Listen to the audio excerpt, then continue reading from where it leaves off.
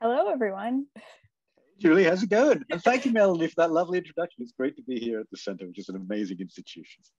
Yeah, thank you so much for having us, Melanie. It's really um, such an honor to be here tonight to talk to you, Peter, even though we were just joking about how we could be doing it from the same space since we live only a few streets away. Um, so I'm going to throw a rock right now. Look out. It's coming. Should get on like tin cans with a string. Um, this is an incredibly gorgeous book that I hope you've all already purchased through the Center for Fiction's amazing um, bookstore uh, not just a brilliant book about the craft of revision, um, which I would expect no less of from Peter Ho Davies, but it's also a really moving meditation on fathers and sons. Um, so I, I, really would rec- recommend that you pick it up. Um, but before we dive in, I think it would be great to hear a little bit of the book from Peter, um, and then we'll move into some conversation and some questions from all of you. So as we talk, you can start throwing those questions in the Q&A box, and I'll kind of keep an eye on them throughout the conversation, and we'll turn to um, address them sort, sort of more formally towards the end. Um, Peter? Sounds good. And thanks for keeping an eye on the Q&A, Julie. I know mm-hmm. if I do that, I'll have to look like an owl to sort of read what's going on in that box. And I'll have to do that a little bit to read from this passage. So I just wanted to read a couple of pages that I hope um, uh, set up some of the ways I think about revision and, you know, a kind of uh, vision of revision that I'm trying to um, uh, suggest to folks along the way as well. Uh, it starts with an interesting quote actually from Benjamin Percy. Uh, Benjamin Percy makes a productive distinction between revision for novice and experienced writers. And I'm going to quote him. When revising, the beginning writer spends hours consulting the thesaurus, replacing a period with a semicolon, cutting adjectives, adding a few descriptive sentences. Whereas the professional writer mercilessly lops off limbs, rips out innards like party streamers, drains away gallons of blood, and then calls down the lightning to bring back the body to life. We might list a catalogue of things most of us needed to learn when we were beginners, avoiding the ticky repetitions of certain words, the reliance on cliche, the overuse of adverbs, etc. Many of these small elements of style have to be learned, which is to say that for most of us, they are at some point a feature of revision. The same is true for aspects of technique. When I was starting out, for instance, I didn't include much dialogue in my stories. Beginning writers, I suspect, have a common tendency to get stuck in a mode, either telling or showing. And I had to remind myself to incorporate scenes during revision. But that hasn't been true for a long time now. The toggling between modes of scene and narration has become more intuitive, natural even, as I've become more practiced. Which is to say that, like Ben Percy, my experience of revision has altered over time as I've revised myself as a writer, so much so that many of those hard-learned skills have become second nature, showing up even in first drafts. And this is good news, of course, but it also suggests that revision is something of a moving target, hard to pin down and define. Experienced writers still wrestle with revision, but such is the protean nature of the process that it's not the same revision as earlier in their careers. And what's fundamental to revision, I suggest, is not what the beginning writer does, but what the experienced writer does. Theoretically, I suppose there might be an infallible writer, one who, with enough experience, writes perfect first drafts, but I doubt it. Even God needed to start over after the flood and apparently still felt the need of a sequel. So, what does it mean when a writer who has mastered all the technical skills still needs to revise? What's that essential core of revision? What's left to change? The lists of writing tips, however useful, that feature many articles and manuals about revision then, which seem to not tell the whole story.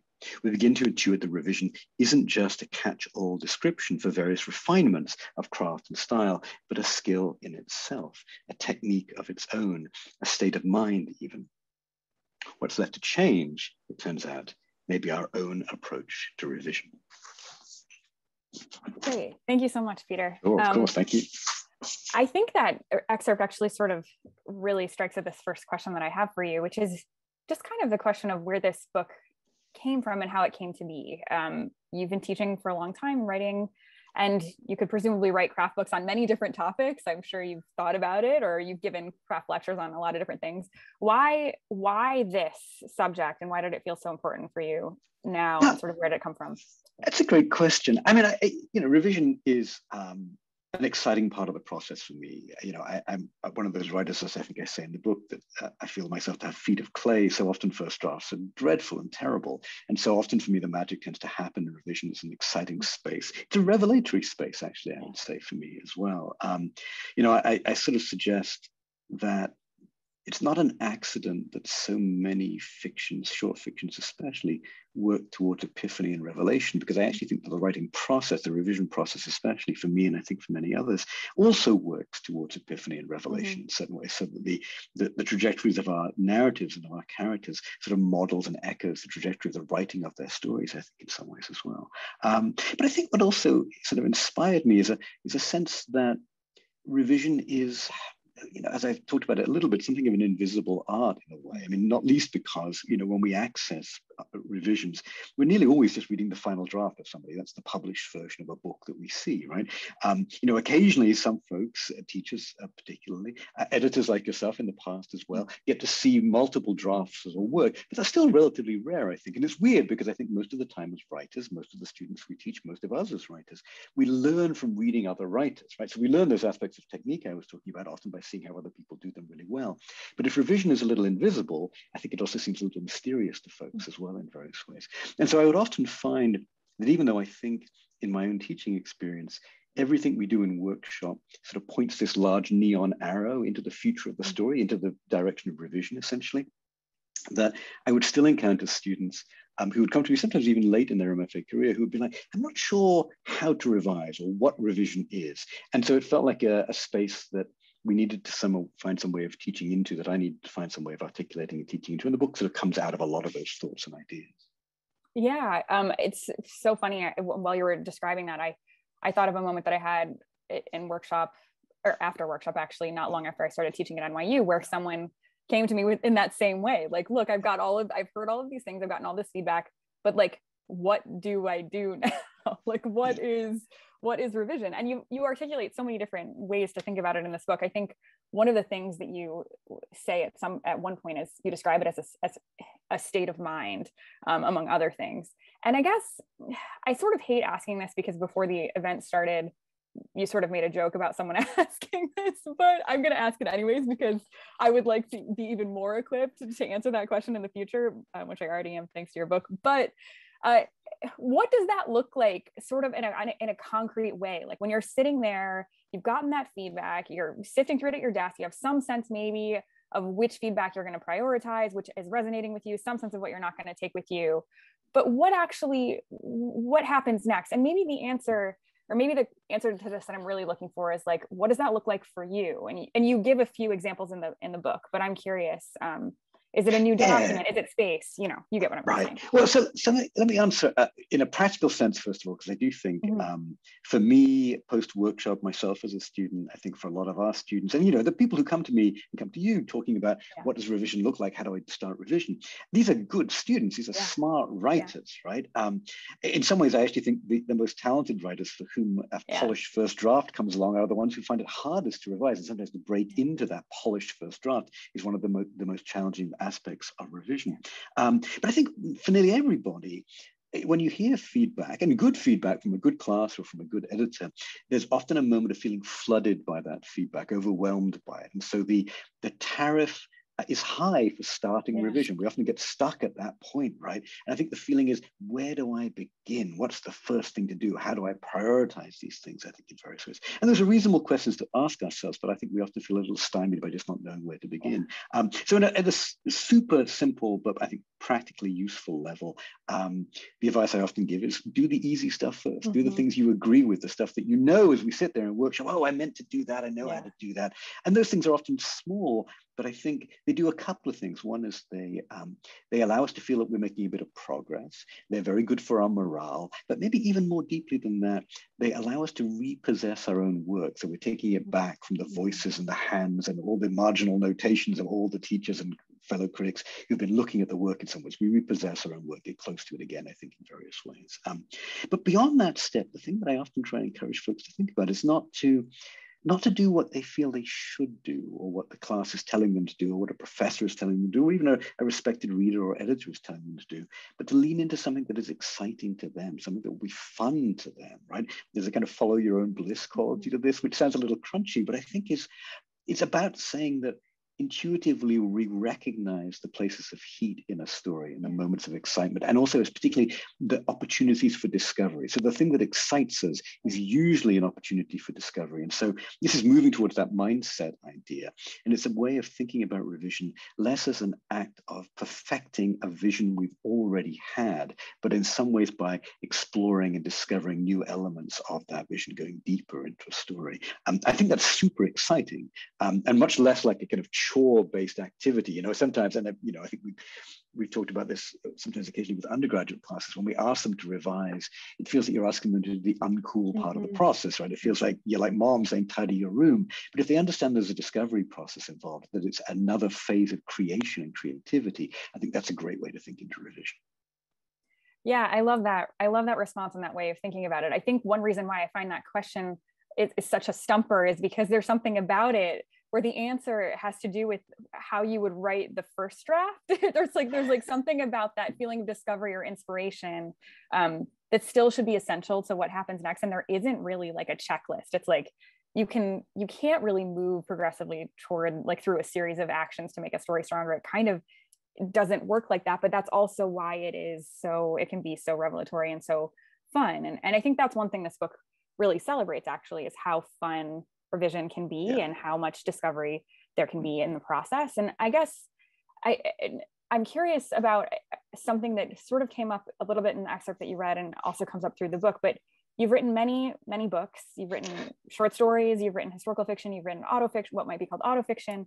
And I guess I'm curious, as you alluded to in what you read, how how this has changed for you, maybe book to book, or even if there's some examples of how you how you thought about revision um, in, a, in a way that suits a specific project's needs and, and maybe what you've learned from doing that?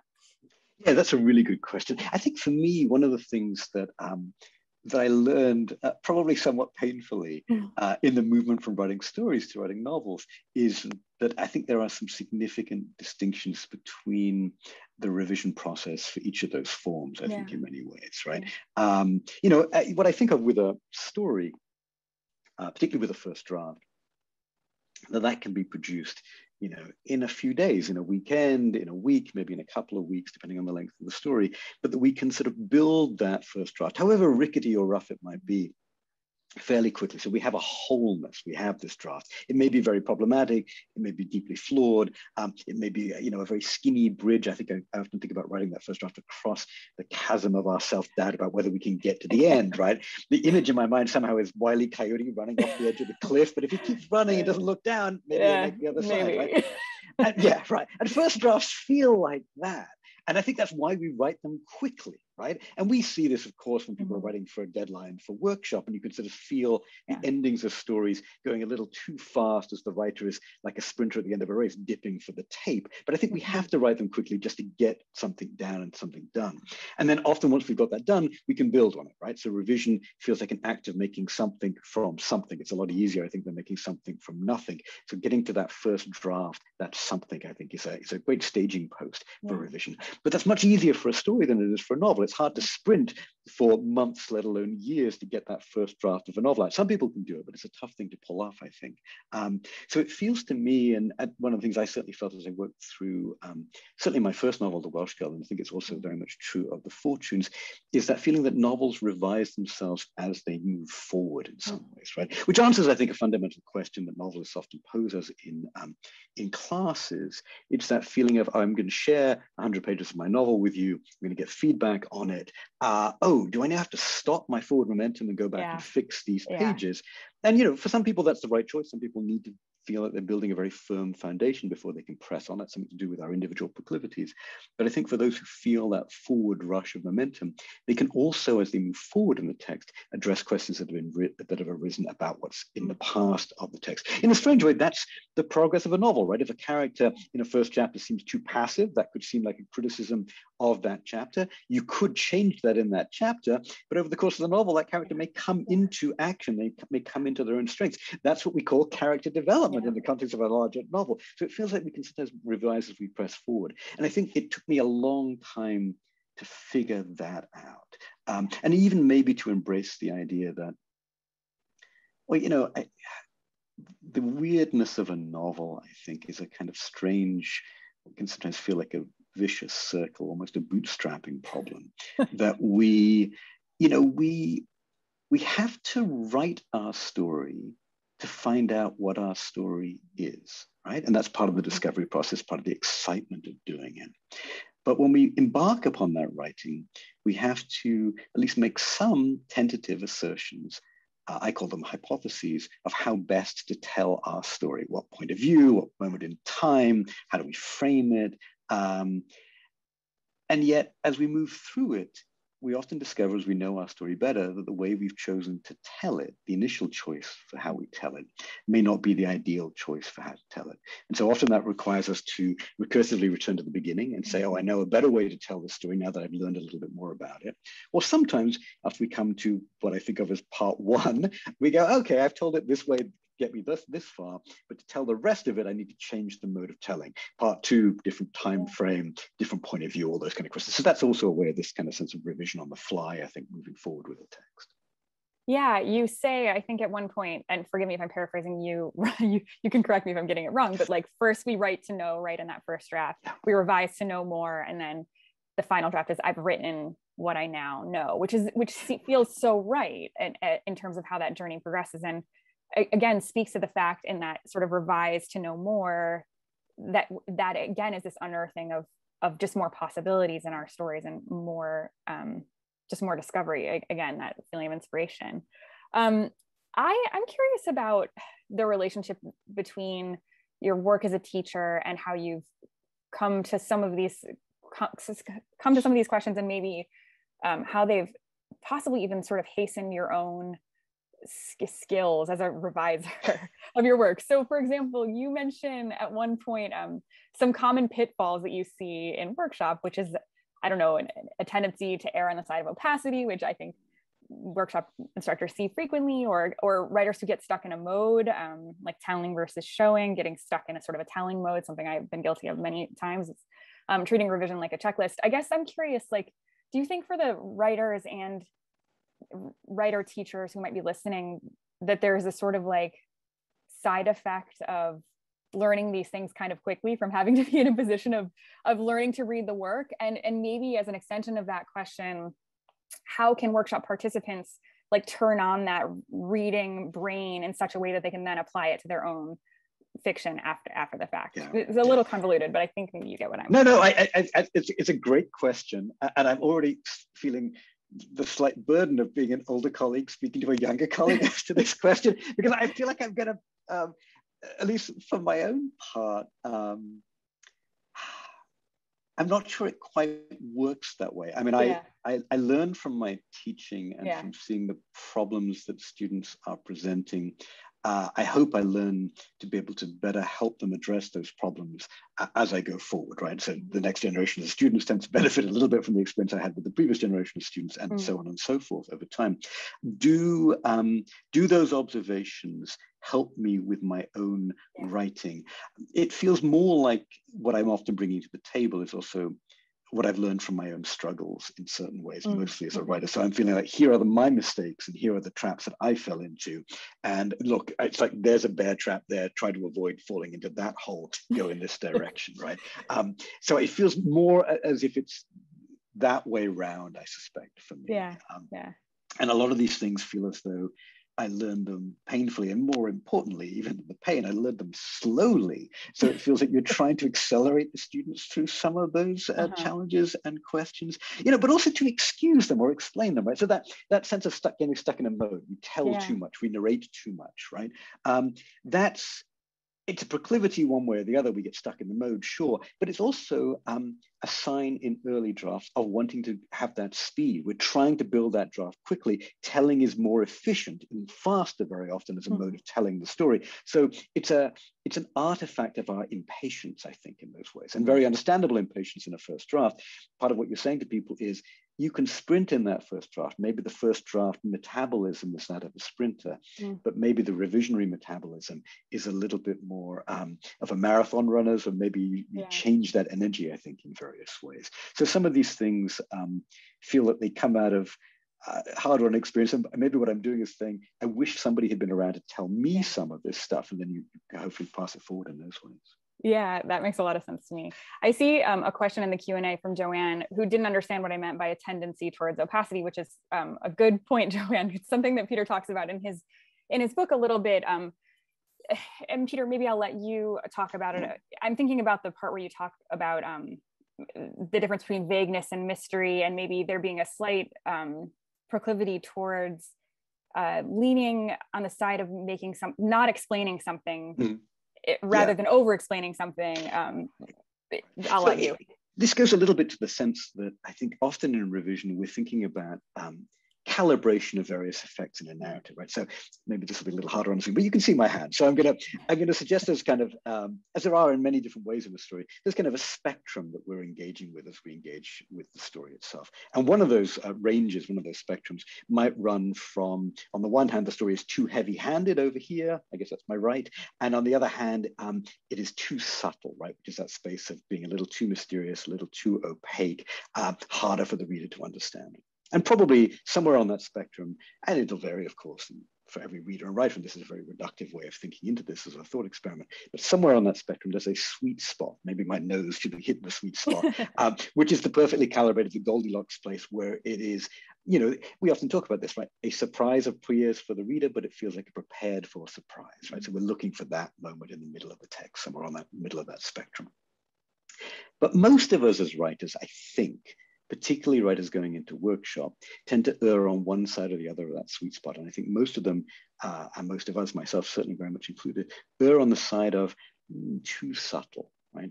And there are a couple of reasons for that. It's partly embedded in the language I've just been using, right? Heavy-handed just sounds bad. Mm-hmm. Too subtle I think, well, subtlety is a good thing. Too much of a good thing, that can't be too bad, right? So we, we tend, I think, to err a little bit more on that side. But it's also, I think, a defensive strategy when we share work in workshop.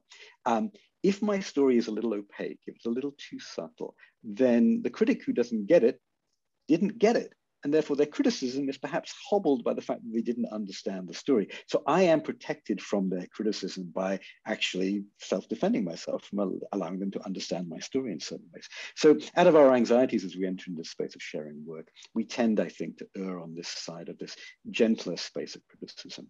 As we revise, ideally, we want to go, I want to go from being too subtle towards the, the Goldilocks spot, the sweet spot along the way. And one of the ways we can do that is by creeping up to it. I'll make the story just a little less subtle, just a little bit less subtle, maybe just a little bit less subtle. And I think of this as um, Zeno's revision after Zeno's paradox, where the arrow flies towards the target, it gets halfway, it gets halfway again, it gets halfway again, but it never quite gets there in Zeno's paradox, right? I think a more effective way of finding that sweet spot is to say, I have undershot it once in one draft? Mm-hmm. What if it would mean to allow myself to overshoot it in the next, to fall on this side of the sweet spot on one occasion, to fall on the other side in the next draft? One of the things that's so useful about that move is that you now know the sweet spot lies between those two places. I think it's easier to find the place you want to get to by allowing yourself to undershoot and then maybe to overshoot rather than just to creep up from one side of the spectrum into that territory. So that's probably the way I'm yeah. thinking about those dangers yeah. of opacity and over subtlety in that case.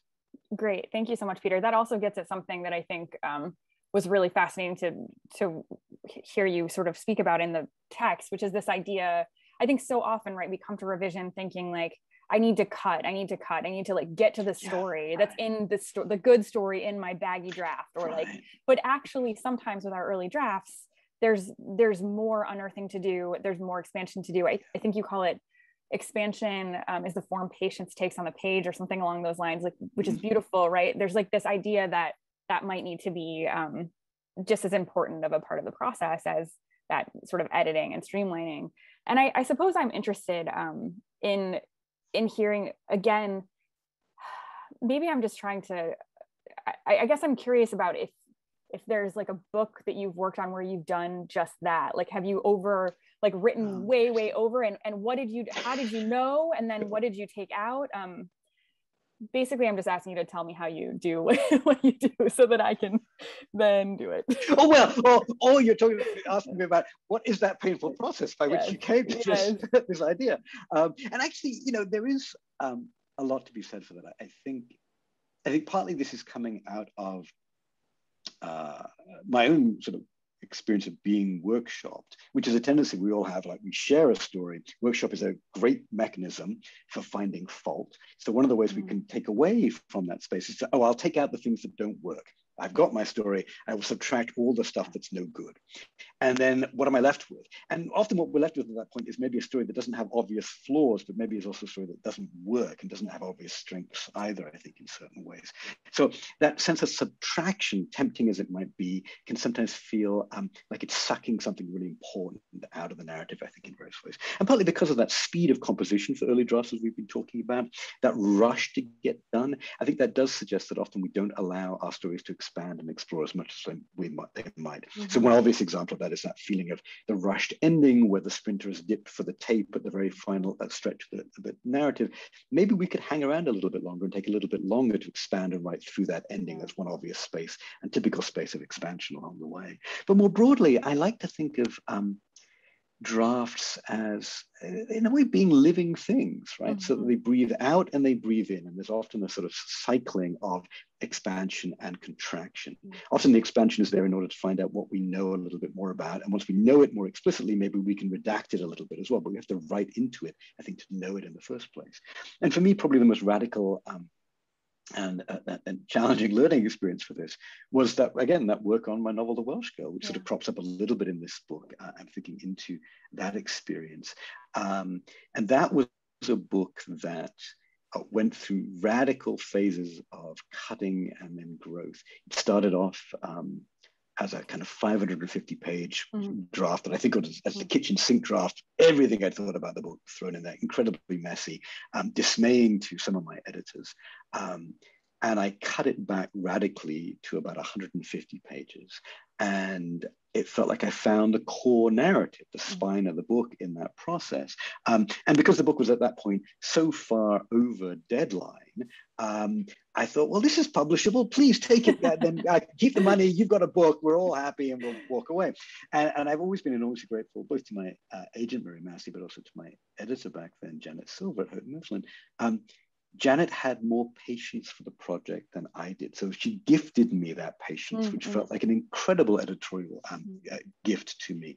And she said, Look, some of the, what you've cut, I think is valuable. Why don't you take some time to see what you can restore? Mm-hmm. And so gradually I took that 150 page skinny latte version of it, as I think of it, and built it back up to that Goldilocks version, yeah. which now in its finished form is about 350 pages or so. And it felt like there was that process yeah. of, you know, breathing in and then breathing out again. And it felt important to do that to try and figure out what the right place to be yeah. was for the book. Yeah, I love um, hearing that story. It, it's so instructive and helpful. And I think it also, it makes me think about those times as a teacher where um, maybe you have someone submit a story to workshop. It's a great workshop. You can tell they're leaving sort of charged up with full of ideas and energy on what to do. They get in touch with you a few months later and they're like, hey, will you read my revision? And you read the revision and you're like, oh no, it's worse but but it's not worse right it's worse for the moment on the yes. way to being better than it could have been without right. the worst the worst possibility behind door number two or so I, I guess i'm curious as a teacher how do you how do you help students through those moments and or just advice for the room i guess like what do you do to sustain yourself through that moment when you mm-hmm. realize like oh i've messed it up and maybe you don't even know yet if you've messed it up in a in a way that will ultimately be positive. Like how do you sort of keep the faith when that's happening? So it's, it's important i think to remind ourselves that um, every draft in the revision process bar one is a draft that suggests a further draft is necessary, mm-hmm. right?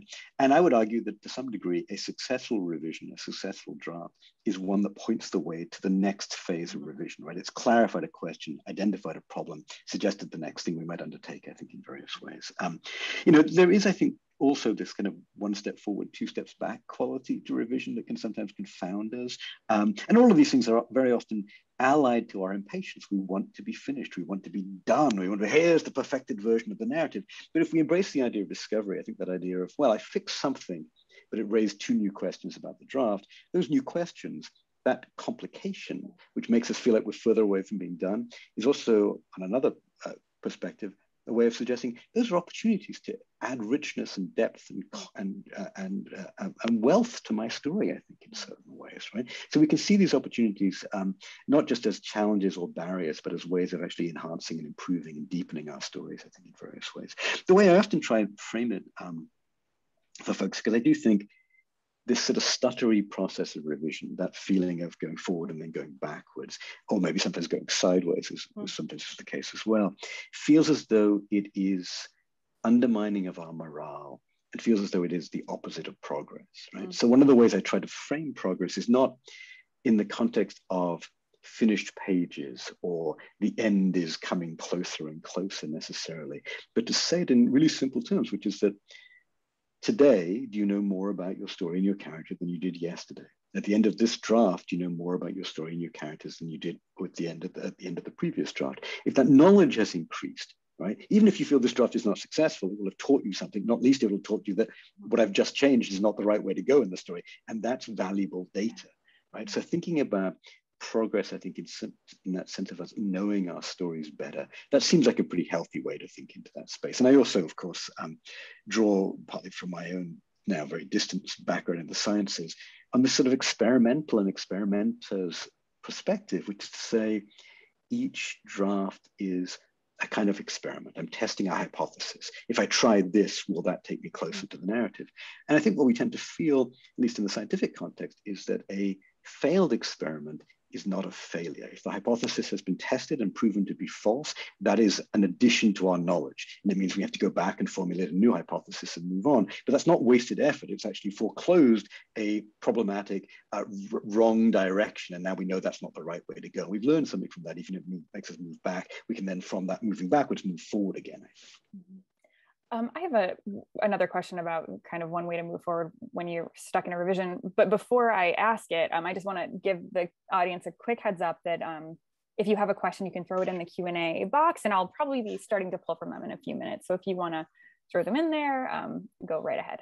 So Peter, one thing that I, I felt was a pretty um, was a pretty a, a, great kind of concrete takeaway here in terms of like something writers might be able to do right now if you're not already doing it. I think a lot of writers already do this is keep a kind of a document of dar- of darlings that they've cut or um, you know instead of killing their darlings sort of preserving them preserving their dead bodies in a separate place to resuscitate later and you talk about and forgive me if i'm getting the titles wrong but i think it's the bad shepherd is the short story that yeah. you wrote using a cut darling from the welsh girl right yeah. um, can you talk about how just sort of what that document looks like sorry to be so concrete minded but i think it, it helps people right? Like is that something that you do that's just on your computer? It says darlings it's got all your darlings in it. It says from every project you've ever worked on is it project specific how do you know if one of those has enough life to become something else? Um, yeah that's a great question. Um, i'm not sure there's an actual file for me although mm-hmm. um, i do talk a little bit in the book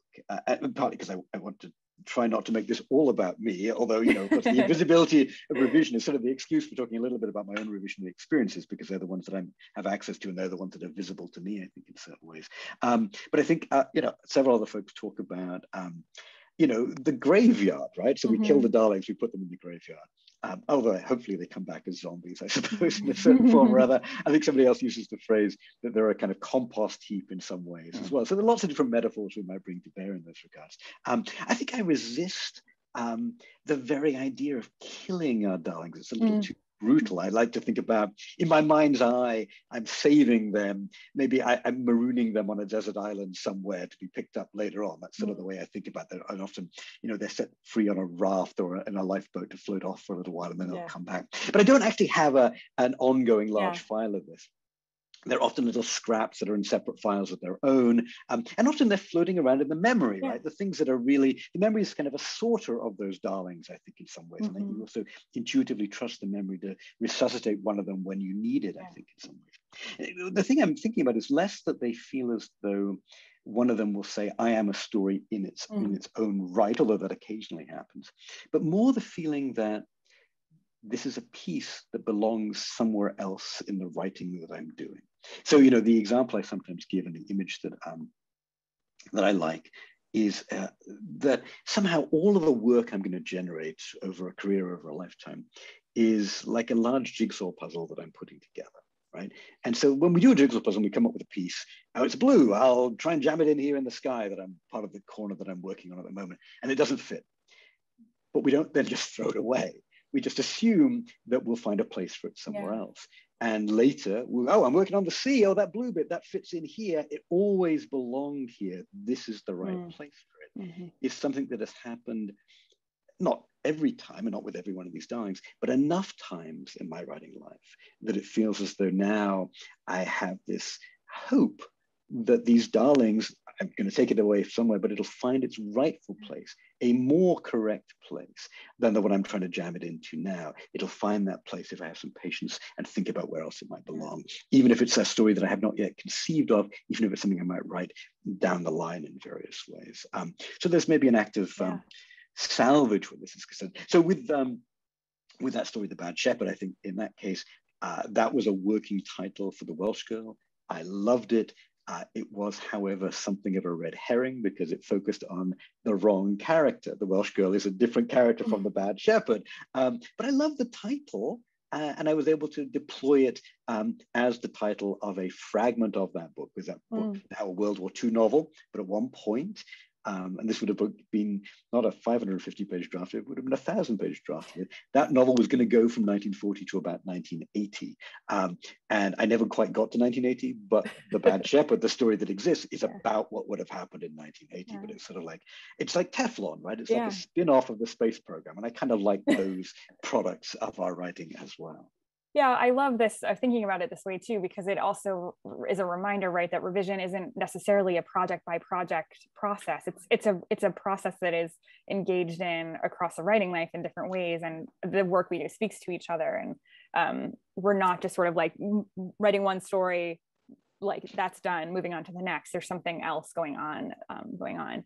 So we have a bunch of questions. Oh, you oh, So I, I was just going to I was, say, in, a strange, in a strange way, no, because you excited me by that thought. You know, I, I, talk a little bit about the dangers of um, if we don't revise, we get into this Groundhog. Day situation uh, that um, we write a first draft, we don't know how to revise it, we put it away, and then we write a new story. And yet somehow that new story will somehow still uh, deal with some of the issues and the themes of the previous story. So we get into this loop of always being obsessed about these subjects, never quite finishing a story. So we can never quite break out of that loop. Um, but the plus version of that, the, the, beneficial side of that is that sometimes these little darlings that we take out of one place, they may return later on. So there are sometimes this carryover that can be beneficial, I think, in some ways as well yeah that section also is just such a the, the section you just referred to um, where you talk a little bit about the tension between like the fear of over revising and then the fear of the risk of not sufficiently revising i think was a is a comfort for anyone who does over revise or finding yourself sort of stuck in that loop a reminder right that there's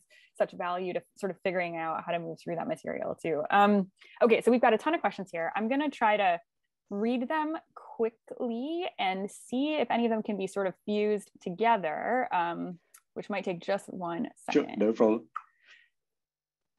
Okay, it looks like maybe while I'm doing this, Peter, um, I think here's one that is would be interesting to uh, talk about a little bit. This is a this is a specific sort of first first draft question. Um, a writer named Paula asked, "Do you recommend workshopping a first draft?"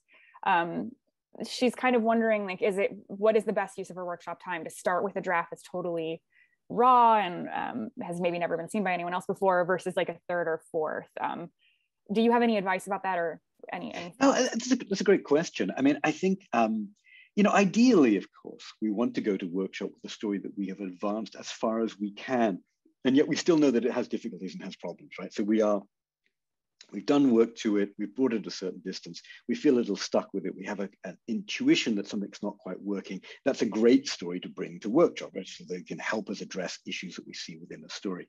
Um, the problem is that in a real world situation, we don't all get to bring that perfect story to workshop, the one that's ready for workshop or perfectly attuned to workshop. And so I often think um, it's a little weird to be paraphrasing Donald Rumsfeld in this regard, that we go to workshop with the stories that we have, right? And I've certainly done that, right? We've all been obliged to do that. And I still think there's value in that experience, right?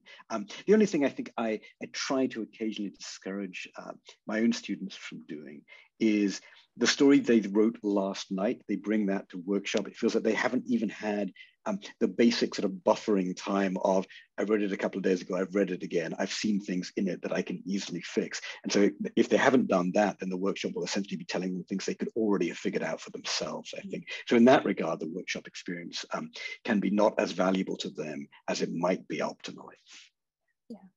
Um, that's really helpful. I think um, let's move to this one from Sharon, who is Sharon asked a question about um, sort of like workshop mechanic or revising mechanics, I guess. So she's feeling like there's kind of a divide between revising for plot or character, um, like approaching. And Sharon, if I'm um, paraphrasing wrong, just feel free to say it in the chat. I'll keep an eye on it. So like revising something doing a big revision of plot or a big revision of character or maybe theme um, i know for some writers that's a strategy versus revising sort of line by line for flow and word choice and sound. Um, do you have any thoughts on how to approach this sort of line by line revision? Uh, maybe any techniques or strategies that you that you use um, versus one that's uh, like more about the overall mechanics of the story?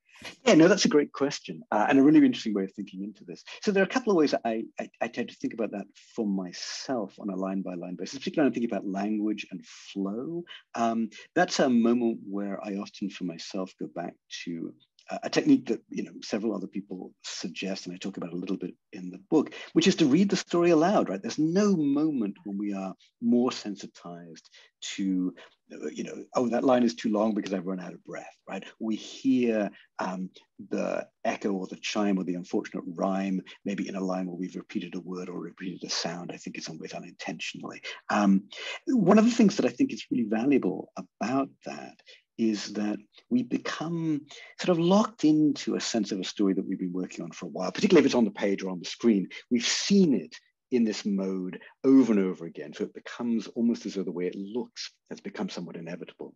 To read it aloud and not just, you know, uh, whisper it to ourselves because we're worried our roommate will overhear us. I have to wait for my family to actually leave the house before I read my work aloud because I want to actually in, enunciate it. Um, that's partly about we're embodying it, right? So we feel the language as it passes over our, out of our throat and over our lips and over our tongue. Um, but we're also apprehending it through a different sensory organ. Uh, we're not just seeing it, we're also hearing it. And I think that changes our relationship to it. So, so much of what we do in revision is about a shift in perspective, right? It's that shift in perspective in a fundamental way from thinking as the writer of our work, we know it intimately, to coming back to it as the reader of our work and trying to figure it out as if we were just the reader of this work. But hearing it too feels like a shift of perspective in those regards. So that for me is very useful in mm. terms of thinking about language and flow. But the other way I think sometimes that for me has been quite useful as well is to not always re-encounter a work in revision um, in its own natural sequence, to not read it from beginning to end, mm. but sometimes to, to, drop into a scene, sometimes out of order, maybe even sometimes to work my way backwards, which is a way of thinking, taking the focus away a little bit from plot development, some of these other larger questions we're talking about, and focusing down a little bit more into the question of how is this passage working if I think about it almost in isolation. Um, great, thank you, Peter. I think I have two questions um, that are sort of similar. Howard and Evan both have a question about about sort of.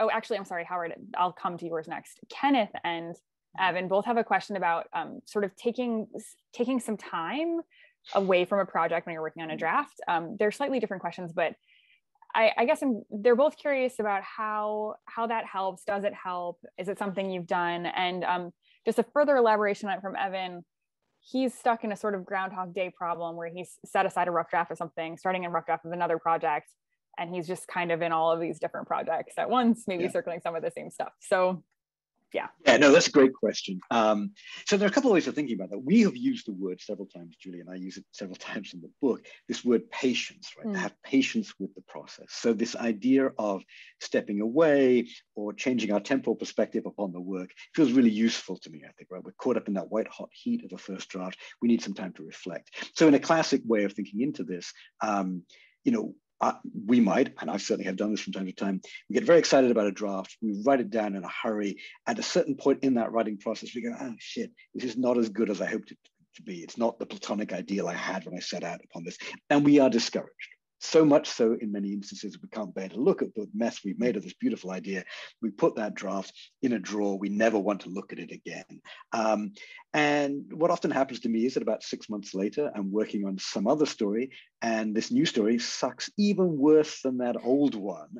And that old one suddenly suddenly looks just a little bit better than it did at the time. I open the drawer up, I look at it again. And because those six months have passed, I have, in some sense, forgotten what I meant by that story, or forgotten why I made some of the choices. So again, we moved to that space where I'm no longer reading it as its writer, but reading it as a reader, trying to figure out, as I would for somebody else's story, why is this happening? Why is that character doing that? Why is this choice of language being made? So that analysis brings me back to that story with fresh eyes, essentially the eyes of a reader rather than just the writer who thought he knew what he was doing, uh, as I evidently didn't six months ago. Now, six months can feel like a long time, right? So one of the ways we think about accelerating that perspectival shift is sharing work with others, right? That moment we all know, even before we hear feedback, when we hand out a story in workshop or we hit send or submit a story to a competition or a journal, that's a moment when we all suddenly go, shit, I meant to fix that. And that's an intuition of other eyes being on the work. So we understand, I think, that somebody else is going to look at it. And as soon as we begin to imagine that, we see through those eyes and see something in the text that we'd forgotten to address earlier on. Um, so those are all ways in which I think that sense of patience, a little temporal space, putting something aside for a while is very useful. The hard part is, what are we doing as writers when we put that thing aside? Right? We often, I think, want to be working on something else. We don't want to feel like we've just not right. We're not writing for six months. That doesn't seem like a very useful way of thinking into this space. And, and I think the way I try to speak into that a little bit is the idea that we we often, I think, toggle between different modes as we write, right? So when we have been revising a long time on a particular story, it can start to feel a little claustrophobic. The walls are closing in on us a little bit. We get a little bored with the work that we're engaged in as well. And suddenly the prospects of breaking ground on a new story or the wide open spaces of a novel, those sound incredibly exciting to us, right?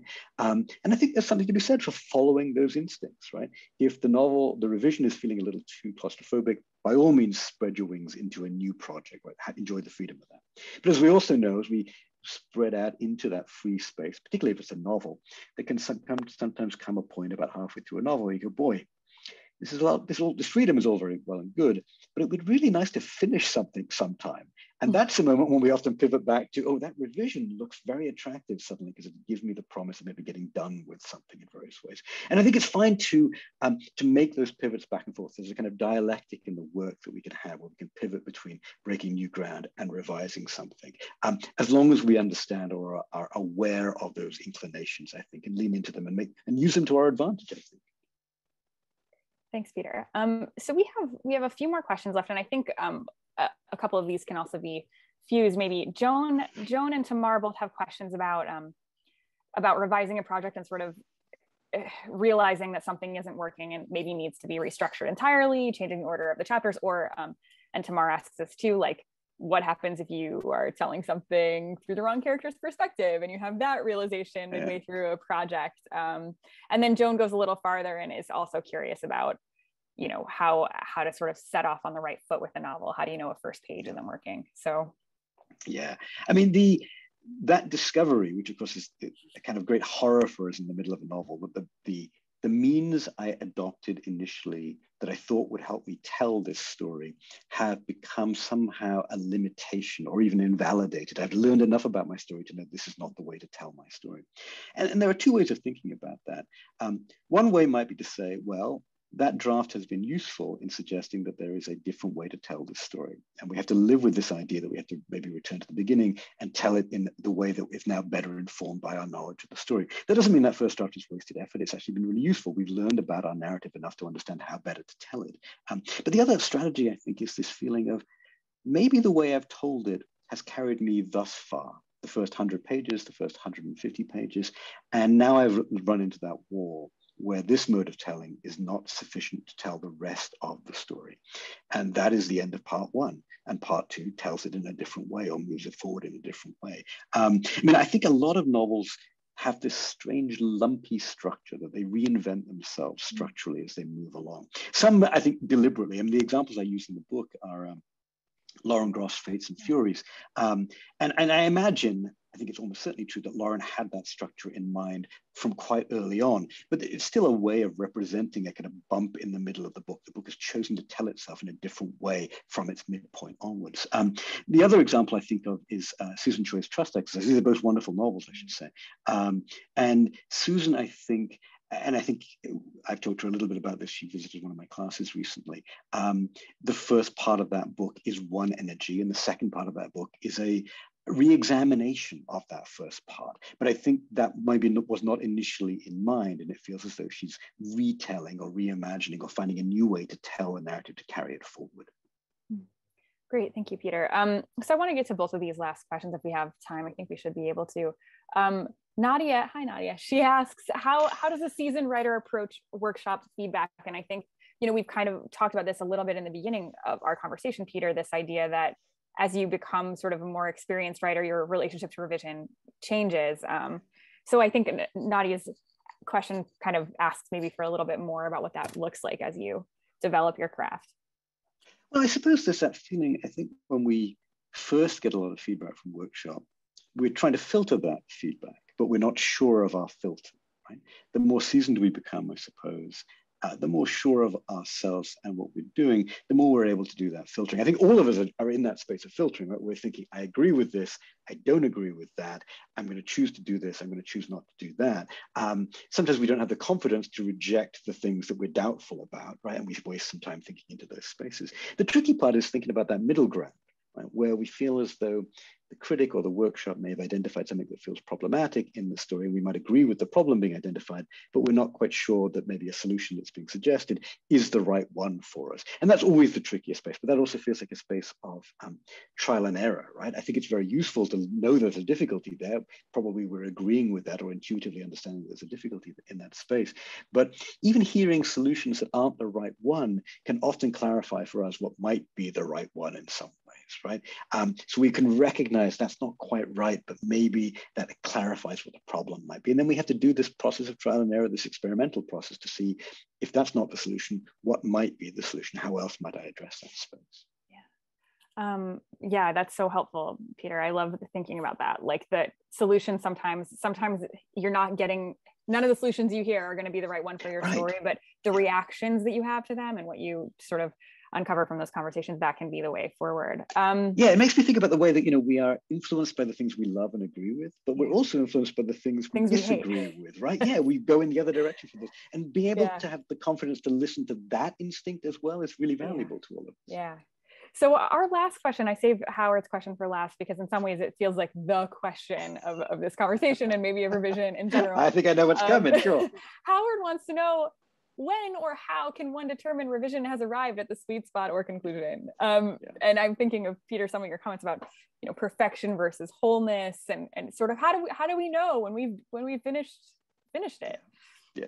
Um, so the, the, short answer to the Howard's question is uh, you have to read the book because it's in there. But no, I'm not going to be that big. No, no, But it is it's a subject that is very close to my heart. This question of doneness. How do we know when we're done? And um, there is a lot in the book on this. But uh, to summarize it, it feels to me as though the journey I'm often on with the story is a journey to understand ultimately why I finally wrote it, right? We think we know why we're writing a story when we embark on it. We have to have a hypothesis, we have to have a theory of where we're going. I think I know what it means. But for me, the revision process is a kind of examination of and a refinement of what does this story mean? Why did I write it? What does it mean to me? So it feels like I'm on a journey with the story. So for me, the final phase, that sense of doneness, often revelatory, as we talked about, often a moment of epiphany when I go, oh, that's what's been here all along. And I was just too dumb to see it at the get go, right? Um, but I think it's also a moment where the journey is concluded because it feels as though my work and my relationship with the story is over. It's not a question of perfection, right? It's not necessarily about, oh, I could keep on honing the language further. I no longer need to do that because the honing of the language is just about my engagement with the story and my sense of trying to understand what it means. But when I get to that point, very often it's deeply satisfying for me. And the amount of changes that are made in revision at that point sometimes are very small. They're actually relatively brief, but it feels like I'm finally done at that point when I understand why I wrote this story in the first place. Think that's a really beautiful note to end on. Thank you so much, Peter. And I hope you'll all read this book where there's so much more um, beauty and wisdom about writing and being a person to be found. Thank you, Peter. Thank you, Julia. Really appreciate the questions. So thank you, everybody. Those are great questions. Really appreciate you guys being here. Thank you both. That was so great. And um, in the book, it's only $14. You can save yourself thousands of dollars and many hours of self-flagellation and have a seasoned uh, professor of writing with you at all times when you buy it, um, and a great novelist as well. Thank you both. Um, thanks to our audience for joining us, and um, we hope to see you all again soon.